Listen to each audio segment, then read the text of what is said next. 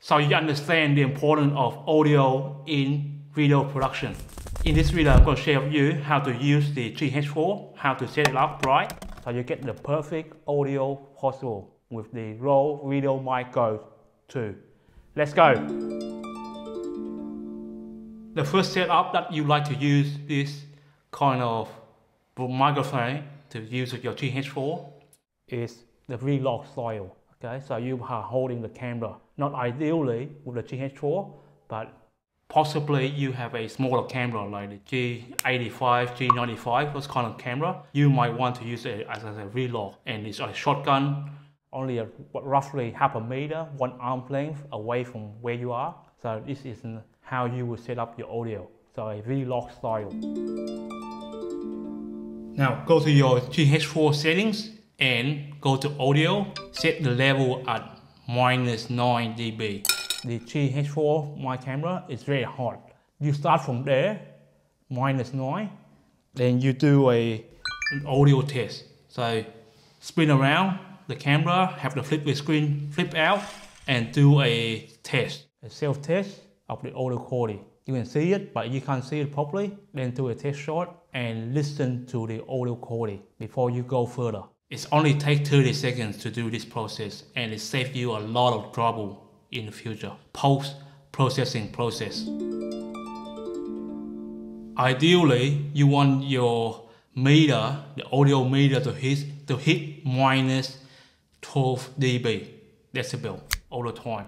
So that's the best for vocal. So that's your target right there, minus 12 dB. Now with the GH4, usually I usually go all the way down to minus 12 dB in your settings. Otherwise, it's gonna clip the microphone. Right now, the one I'm using right now, as a headshot, boom position, I set the audio level to minus 12 on the GH4. So it still come out very hard because I'm very close. The microphone is very close to me, just above me, 30 centimeter to 50 centimeter away from the cam, from my mouth okay, roughly that, that size, that width. So not that far. That should give you the best audio quality possible. Now that you have set your the right level in the camera, now you just start relocking. Perfect, right? Another scenario that you like to use your video mic go is a as a boom position for, for talking head, this kind of shot right here for YouTube content creation. So it's very close to where I'm sitting right now. So you should get the best audio quality possible out of this shotgun microphone, which is a $99 microphone by the way. So you can check the video I had done the, of the sort of review over here. Now the way you set it up is you first have the microphone in the shot. First up, you gotta frame your shot first. So have a clear background, whatever you want to frame. Now have the, have the microphone into in the shot. From then, you adjust the microphone just above the frame, just out the frame a little bit. And that should give you the best possible audio quality. Also, do an audio test as well. Okay, don't be too lazy. As a boom position as well, make sure you do an audio, audio test and check your the, the level in the camera. Otherwise, you're gonna have a lot of problem you don't know what is the setup like each and every time. Make this have a test shot as your habit each and every time when you do any video production.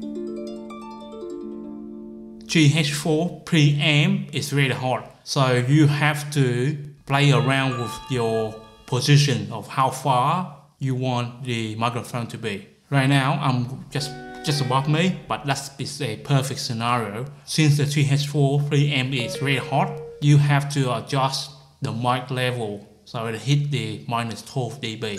Your goal is not to clip the audio. Once the audio is clipped, forget about it. Yeah? You have to do another take. So that's why I, I always suggest people to do a test shot. Take 30 seconds out of the beginning of any shoot and do a test shot. It's only take you maximum 30 seconds would not take you that long to do a test. Guess what, my friend? Now you just need to press record and you are ready to go. If you are a content creator, you know that audio is half the story of video. In this video, I'll share with you two ways you can use the video mic go. Okay, one is as a vlog style and one is a boom position. But experienced videographer, filmmaker knows that redundancy audio recording is very important. Now you can check that video out here if you want to learn how to do redundancy audio recording. Right now I'm doing a redundancy audio recording. Right there, you see it, okay? And right there, I'll, as a boom position. I'll see you next time with another video. Bye.